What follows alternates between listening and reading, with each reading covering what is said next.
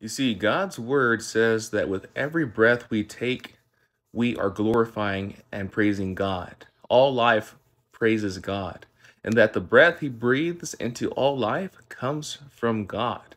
But the only way to inherit eternal life is to get the breath of the Holy Spirit, the Holy Spirit which is promised to those who believe and accept Jesus Christ as their Savior.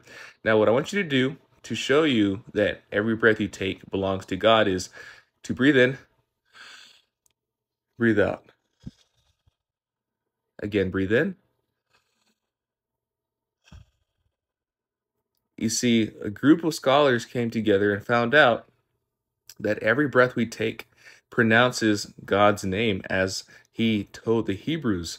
His name starts with Y, H, and then goes with W, H. Okay, so the way you spell his name in Hebrew is Y-H-W-H. And there is no there are no vowels in that name. There is no way to pronounce that name. But if it were to be pronounced, they figured out it would be the same way we would breathe or that we do breathe, which is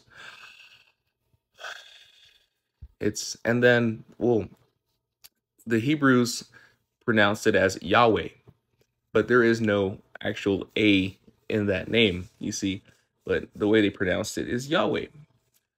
But in all reality, it's awesome because we see that in all life, all things glorify and praise God without even knowing it. Isn't that amazing? Isn't that awesome? That all life praises God who is good and whose mercy endures forever.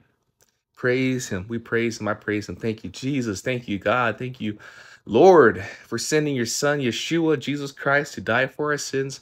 You are worthy of worship. You are worthy of all praise. You are amazing. You are an amazing God, a God of miracles, a God of love, a God of, wow,